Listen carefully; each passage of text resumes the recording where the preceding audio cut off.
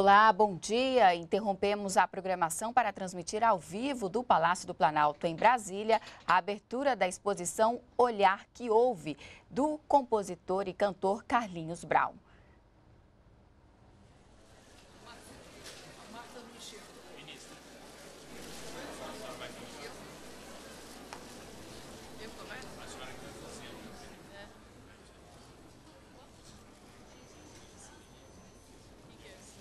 A exposição tem 25 telas pintadas por Carlinhos Brown e três instalações, sendo uma delas a bandeira brasileira, formada por cachirolas.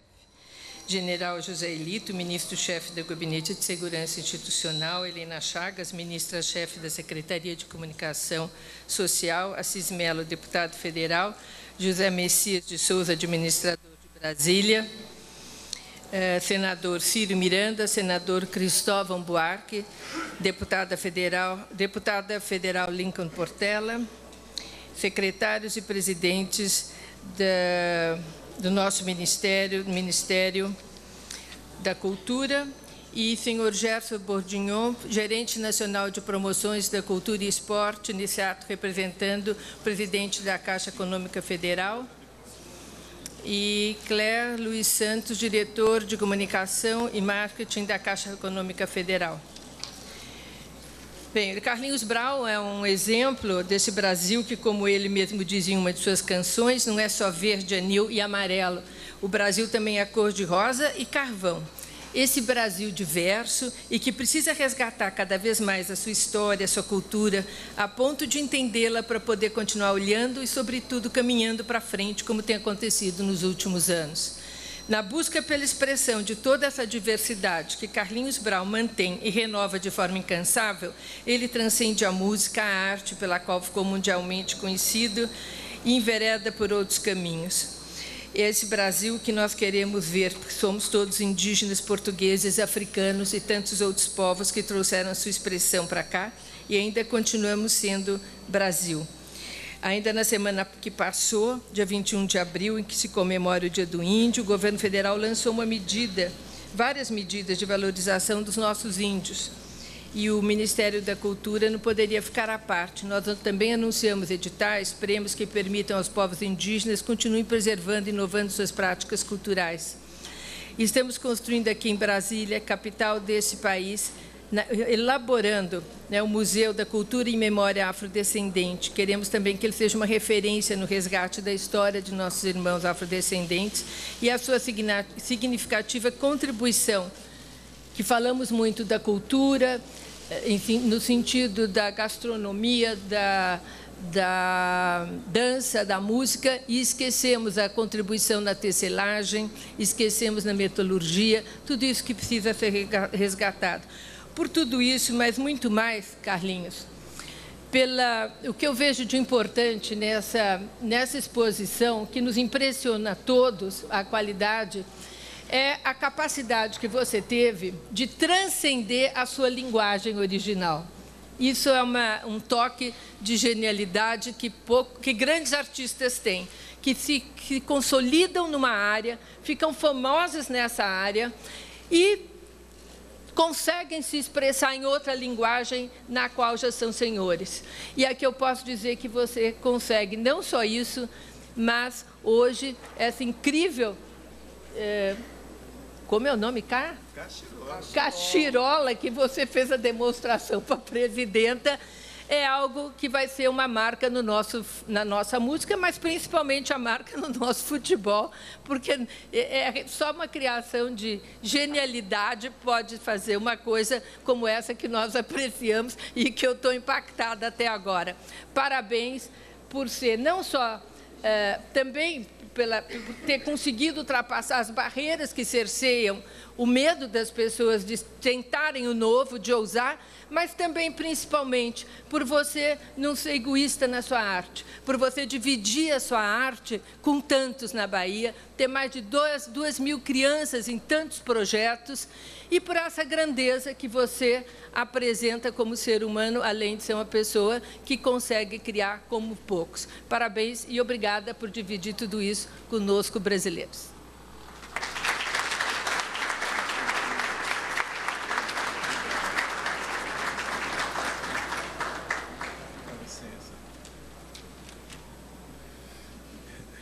É, presidenta Dilma, ministra da Cultura Marta Suplicy, todos presentes, é, o meu agradecimento, né, e, e, esse meu agradecimento é, também inclui parabenizar Brasília né, aos seus 53 anos, né, onde heróis conhecidos e anônimos trabalham incansavelmente no desejo de melhorar o outro, de melhorar o ser humano.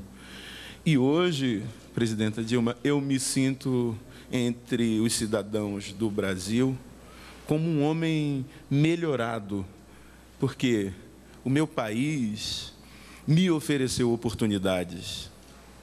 Né? A minha história me ofereceu dificuldades, mas as minhas dificuldades encontraram oportunidades para soar bem. E soar bem, às vezes, tem um significado único: aprender a crescer. Aprender a crescer está muito ligado né, a preservar essa criança de dentro. E essa minha criança de dentro, que eu não quero que morra nunca, porque nela está o criativo, nela está o desejo de respeitar o outro, de observar, é ela que traz essas cores da miscigenação brasileira o índio, o africano, meu Deus, o europeu, gente que ajudou a construir esse país. Então, toda essa intuição artística nas pinturas retoma a minha vida em seis anos, há seis anos atrás, né? E, e chamo disso do olhar que houve, porque parece muito a memória do meu bairro Candial, de pintores de paredes, aonde meu pai se deslocou como um dos para aprender essa profissão. E eu me lembro muito cedo, né, eu como pai, ele querendo me levar para a profissão, e eu brincava nas casas ali ao lado, na casa do Luiz Viana, que foi morar perto do bairro, né, ali no Horto Florestal, que começou a migrar toda uma classe de melhor poder aquisitivo naquela floresta, e ele dizia: você não pode pintar a, a, a porta ou as paredes com tantas cores assim. O patrão quer gelo, ou azul, ou branco, não pode misturar as cores assim. Então, meu pai intuitivamente me entregou ao mestre pintado do Bongô, que era motorista do Luiz Viana, para me ensinar música. E assim eu segui, atento aos dizeres do mestre, mas, sobretudo, atento em que as oportunidades viriam é, vencer as minhas dificuldades. Então, eu agradeço a cada um, né, a cada herói desse tempo que é, me instruiu e me trouxe aqui. Todos sabem que é, me faltou a escola né, formal. Todos sabem, eu já falei isso na imprensa, mas não me faltou grandes professores. E são a esses que eu agradeço a cada momento e no intuito de não traí-los em um só momento. Essa pintura também, presidente e ministra e todos presentes, é um manifesto a esse homem de hoje, né, que pode esperar o tempo de Deus para fazer com que suas coisas aconteçam. Né? A melhor forma de ser rebelde de um, de, hoje no, no, mundo é ser um bom cidadão, é ser uma boa pessoa. Essa é a melhor forma de rebeldia, porque a violência e outras ações já não cabem mais, até nem surpreende, chocam, mas nem surpreendem. Né? Mas hoje é bastante salutar um homem generoso né, que reconheça né, em si a humanidade. E o que é humanidade. Uma coisa que a gente está perdendo aos poucos. Ver alguém no chão e com medo de se envolver, passa direto. O cara está se batendo ali, não pega, não dá um alento. É, é, alguém chega pedindo o que comer, às vezes fica em dúvida, parece que tem medo né, de que vá acontecer problemas maiores. A gente não pode perder a humanidade, nem perder a expectativa de que crescer é esperar o tempo de Deus para as coisas. E Deus está me oferecendo uma oportunidade e quero continuar né, num, um novo processo de reeducação que fiz com esse instrumento que foi o timbal, agora com as pinturas na comunidade, né, onde nasceu Caribé. Né, pois, na, Caribé nasceu na Argentina, mas a gente considera que ele nasceu. Udo, Nofle, que era todos perto ali, Jorge Amado, todos circundavam aquela região. E também vos agradeço. E, claro, né, é, a Caixa Econômica teve um papel enorme nisso, é, principalmente na figura de Jorge, que é que descobriu uma das telas assim, disse: Você pinta. E ele havia me convidado para é, fazer minha primeira exposição. Né? e que foi na Caixa, e depois essa oportunidade única que foi dada aqui por todos. É impressionante, presidenta, é, e, e, e, ministra, como as pessoas se portam nesse palácio. Eu nunca vi gente tão sorridente, tão querendo fazer as coisas, tão querendo fazer acontecer. E essa é a minha mensagem que eu tenho para o Brasil. Né? Aqui se preocupa, né? aqui há preocupação com o outro, aqui há preocupação com o ser humano. E nenhum ser humano é obrigado a acertar de vez. Então sigamos juntos. Muito obrigado ao meu país que amo. Obrigado a Jorge, obrigado a Andréia, obrigado a todos os Pedro, Pedro Caldas, né, Diana, que é uma menina daqui de Brasília, esse cerimonial maravilhoso, Antonieta, todos que aqui realmente colaboraram conosco, né? Eu estou muito grato, não tenho palavras. Agora, é, hoje, lá, lá, em cima, eu estava apresentando para a presidenta e para a ministra a cachirola, né, que é um instrumento que vem, tem sido liderado pelo ministro Aldo Rebelo, né, porque ele conheceu a, a, potência dessa comunicação desse instrumento e ele foi todo feito em plástico verde, desenvolvido pela Braskem, né? é, um, é, um, é um, um dos produtos da FIFA, e a The Market Store, que é exímia em criar produtos e, e, e brindes, né? trabalha para grandes marcas no Brasil, é uma das responsáveis por isso. E eu queria um pouco apresentar para vocês, além da questão da, da, das pinturas, esse instrumento sustentável, né? que é a cachirola. Eu, eu toquei um pouco lá para ela, né? e acho que. Eu vou tocar para eles, né? Você não vai tocar a. Uhum. Aqui, é, eu toco, a senhora toca.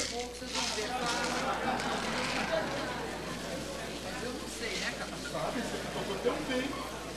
Não, agora Cadê as irmãs? São as duas, são as duas. Aqui. Ó, vamos tocar ali. Você também. Olha, a bandeira do Brasil por si já tem um DNA do hino.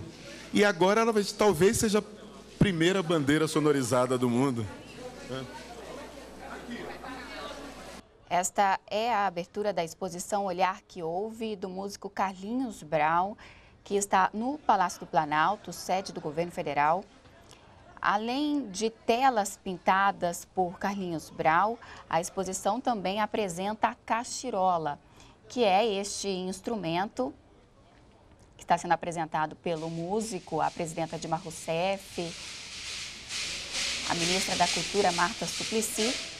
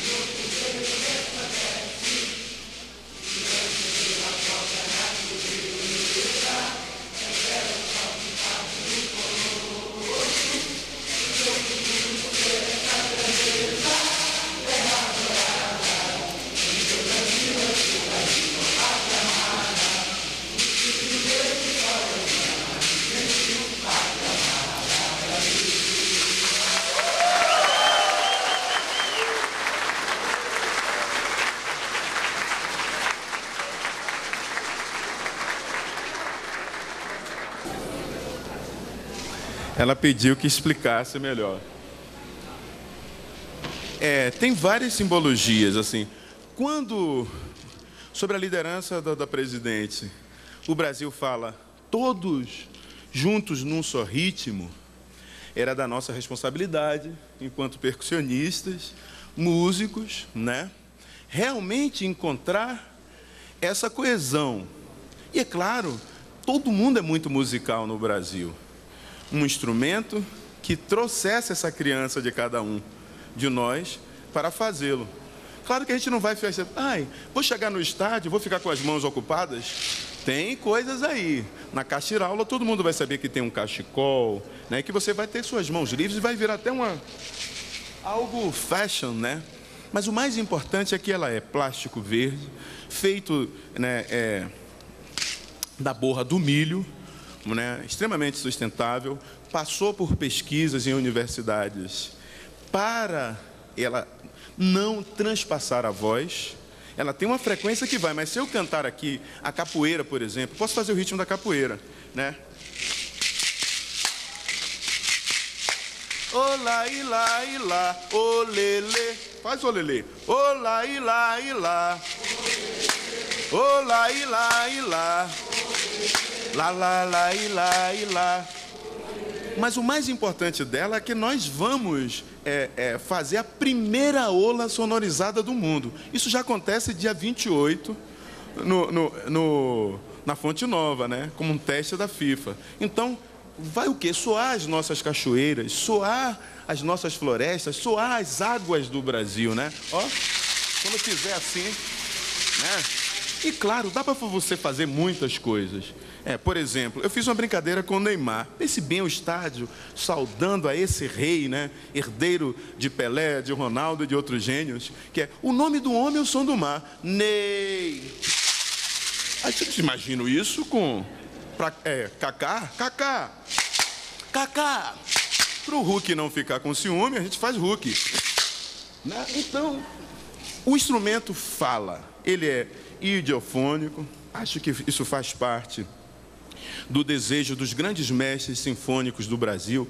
Vila Lobos nos formou até aqui, Correuter na Bahia, os Morelenbauers, os Rabinovites, eles são importantes nesse quesito, né?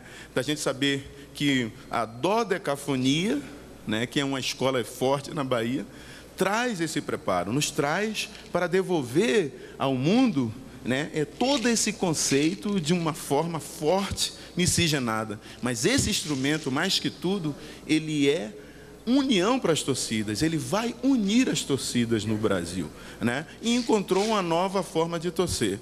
Então é muito fácil, como estamos aqui, estamos aprendendo. Botou os três dedinhos aqui, ó. Ó. ó. Aplausos, por exemplo, você fazer. Quer fazer maracatu?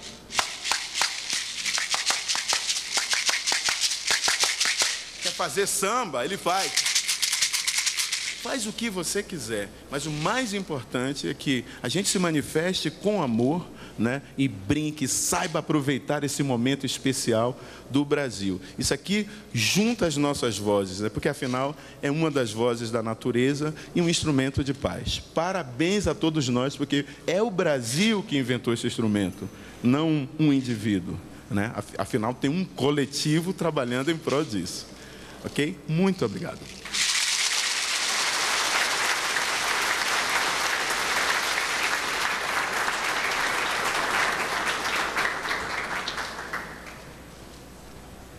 Eu queria começar cumprimentando o Carlinhos Brau.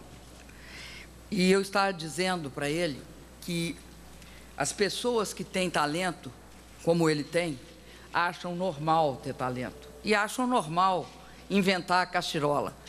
Nós, a mim, a mim provoca, na minha ausência de talento musical, provoca uma surpresa que eu acho que todos aqui compartilham a surpresa diante de uma coisa tão bonita, tão simples, tão sintética e tão representativa do Brasil. Queria também cumprimentar a minha cara Andréa Mota, os ministros de Estado. Eu vou cumprimentar um ministro de Estado ausente, porque ele é, ele tem um papel importante aqui, principalmente nessa questão da cachirola, que é o ministro Aldo Rabelo.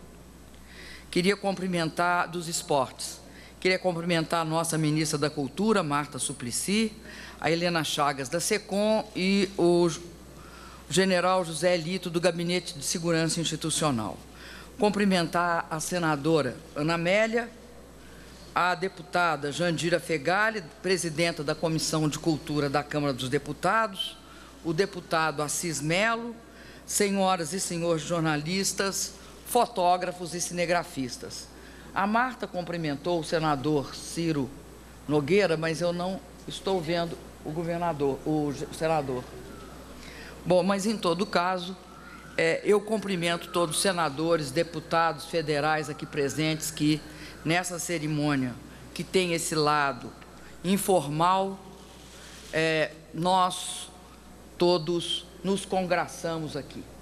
Queria cumprimentar todos presentes e dizer que a gente não pode esquecer a grande riqueza do que nós estamos fazendo aqui. Primeiro, é uma exposição de um talentoso, um excepcional músico brasileiro. Uma exposição que se chama O Olhar que Ouve. Essa capacidade de um, de um autor, de um artista, se transportar do mundo do som para o mundo das imagens. É o olhar que ouve. Mas vocês vão ver, olhando a exposição, que com Carlinhos a imagem canta. A imagem também canta. E esse, essa capacidade de várias vozes, a voz da pintura, a voz da a voz plástica da pintura, né, e a voz da percussão, elas se encontram numa imensa capacidade de criar. Eu queria também dizer a vocês que a mim encanta em demasia esse processo do Carlinhos e mostra a imensa força da cultura brasileira. Dizem né, que o universal sempre está no mundo muito particular. E é a capacidade de expressar esse mundo muito particular, muito específico, que transforma um autor num grande artista. O Carlinhos é um autor e um grande artista. E ele expressa o mundo diverso, mas muito específico do Brasil, especialmente da Bahia a pluralidade, o fato de que esse mundo tem milhões de aspectos. E agora o Carlinhos, nessa sua quase ingênua aceitação de que, ah, não, é muito fácil fazer uma cachirola, nos, nos encanta porque ele combina aí a imagem, essa imagem lá verde amarela da cachirola, esse fato que nós estamos falando de um plástico verde, de um país que tem a liderança da sustentabilidade no mundo, e ao mesmo tempo é um, é um, um objeto capaz de fazer duas coisas: de combinar a imagem com o som e nos levar a gols. Então, além da, do olhar que, que houve, da imagem que canta, nós temos a imagem e o olhar que nos levam com a cachirola a comemorar o gol, a comemorar os nossos atletas.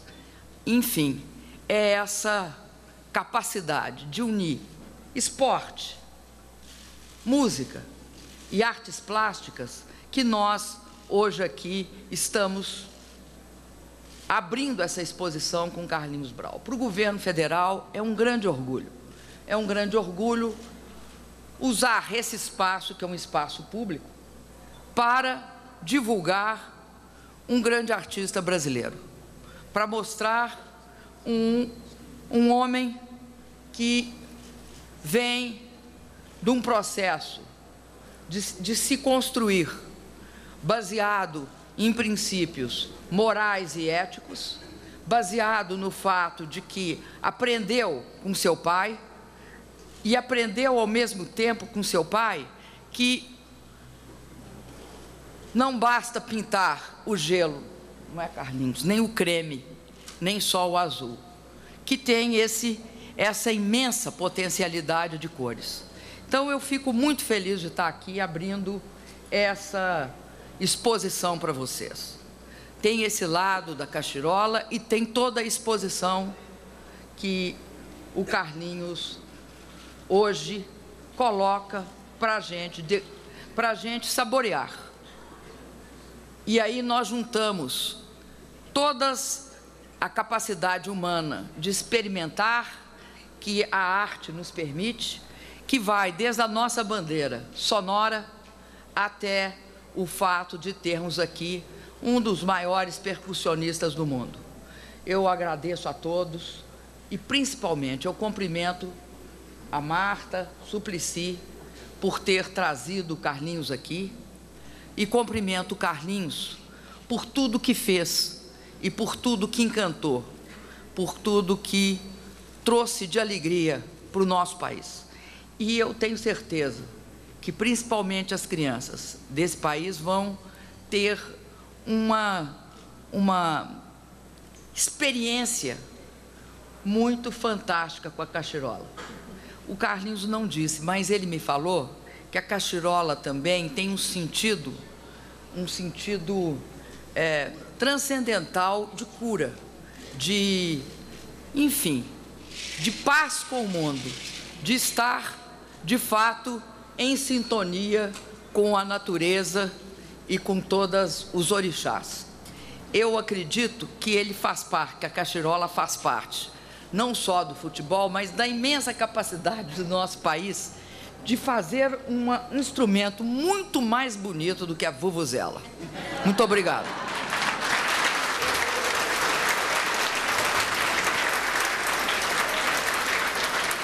Neste momento, convidamos a Presidenta da República a visitar a exposição O Olhar que Ouve, do artista Carlinhos Brau, que será em seguida aberta à visitação pública.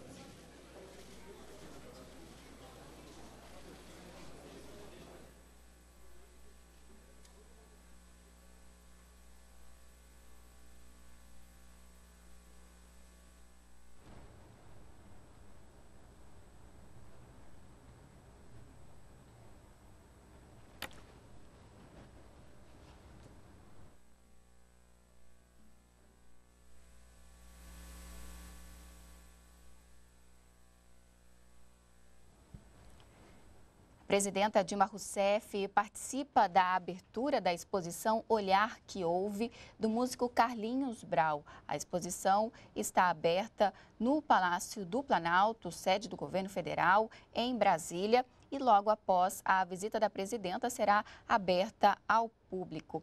Entre as peças expostas está a cachirola, que é uma espécie de vuvuzela brasileira, um instrumento oficial que a torcida poderá usar na Copa das Confederações e na Copa do Mundo de 2014. A cachirola foi é, idealizada e criada pelo músico baiano para ser usado pela torcida. O produto faz parte da linha de produtos oficiais da FIFA.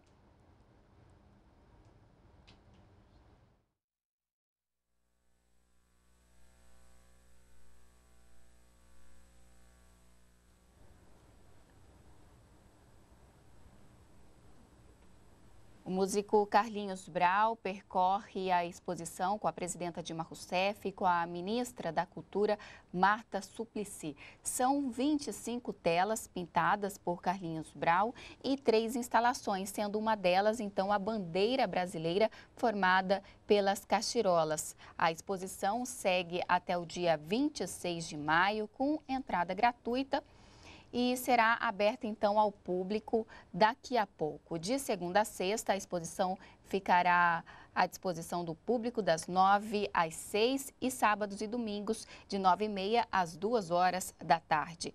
A exposição revela ainda os dotes artísticos, é, que os dotes artísticos de Carlinhos Brown vão além da música e que ele também tem é, pintado, tem também se voltado para as artes plásticas. No total, são 25 telas espalhadas pelo Palácio do Planalto. Carlinhos Brau deu início ao trabalho há cinco anos, quando ressurgiu o desejo de pintar, atividade que remete à sua lembrança ao trabalho do pai dele, que era pintor de parede. Ele afirma que inúmeras vezes acompanhou o pai em serviço.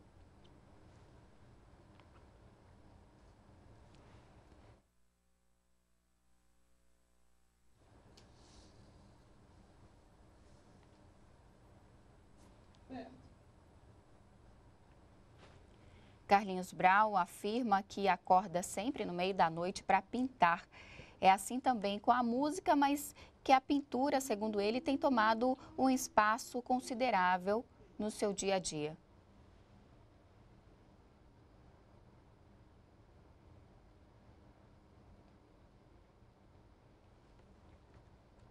A presidenta Dilma Rousseff percorre a exposição de Carlinhos Brau, olhar que houve no Palácio do Planalto.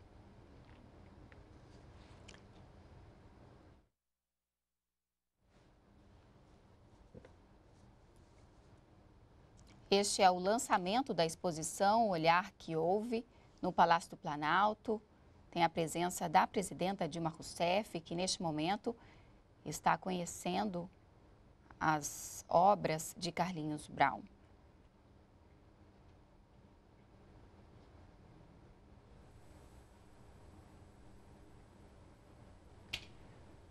Lembrando então que são 25 telas pintadas pelo músico e três instalações, sendo uma delas a bandeira brasileira formada por cachirolas. A cachirola, que é um instrumento criado pelo músico baiano para ser usado pela torcida durante a Copa das Confederações e a Copa do Mundo de 2014. O Ministério do Esporte e a FIFA acompanharam de perto a concepção do instrumento a cachirola será vendida durante os jogos. O instrumento respeita os limites sonoros e reproduz sons da natureza.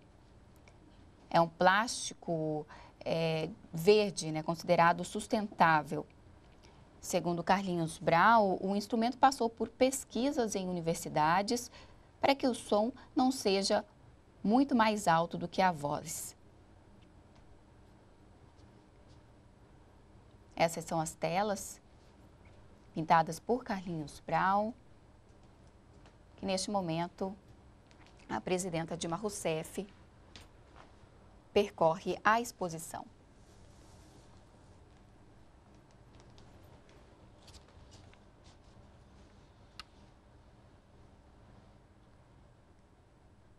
E nós podemos voltar a qualquer momento com outras informações. Continue com a gente na NBR, a TV do Governo Federal.